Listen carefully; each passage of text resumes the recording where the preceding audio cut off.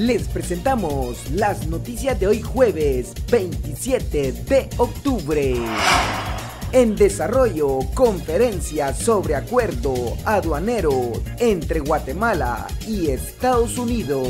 Autoridades de la Superintendencia de Administración Tributaria SAT y el embajador de Estados Unidos en Guatemala presentan detalles sobre un acuerdo aduanero con Guatemala.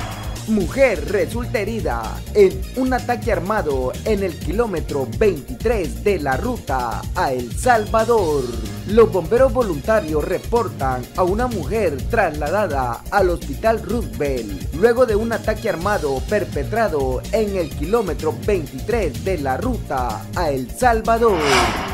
En desarrollo, operativos por investigación de casos de pornografía infantil el Ministerio Público y la Policía Nacional Civil llevan a cabo operativos en Jocotenango, Zacatepeque, por una investigación de un caso de pornografía infantil. El operativo es coordinado por la Unidad contra Explotación Sexual Infantil en línea de la Fiscalía contra la Trata de Personas, luego de una denuncia por la posible posesión de material de abuso sexual infantil capturan al señalado de distribución de droga en la zona 4 capitalina. La Policía Nacional Civil informó que se registró la captura de una persona en la 21 calle de la zona 1 de la capital, en la entrada a la torre de tribunales. El detenido fue identificado como Arbelio Ayerdi López Díaz, de 46 años. Las autoridades lo señalan de los delitos de comercio,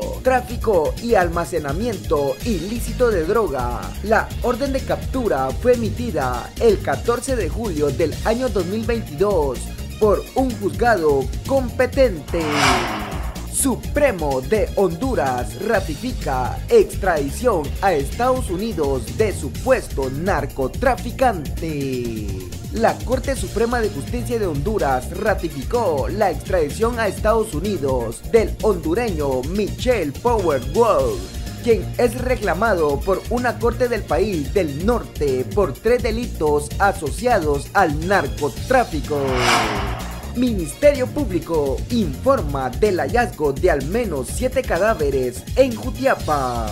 El Ministerio Público informó que a través de la Fiscalía Municipal de Atezcatempa, Jutiapa, se encuentra procesando una escena de crimen en la aldea San Suzuque a Tezcantempa. El personal fiscal y técnicos e investigaciones criminalísticas se hicieron presentes derivado a que vecinos alertaron de un mal olor fétido y de forma preliminar se considera que podría ser de siete víctimas entre hombres, mujeres y niños.